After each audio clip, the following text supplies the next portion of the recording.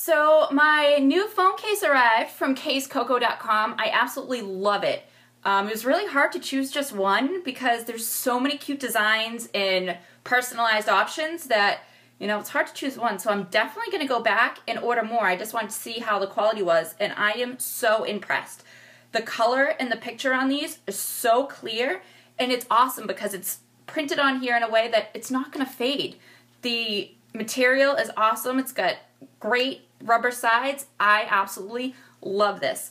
Um, what I really loved about the company um, too is their customer support was seamless. When I messaged them, they were quick to respond and the communication was so smooth back and forth that they were able to help me figure out exactly what type of case I'd want.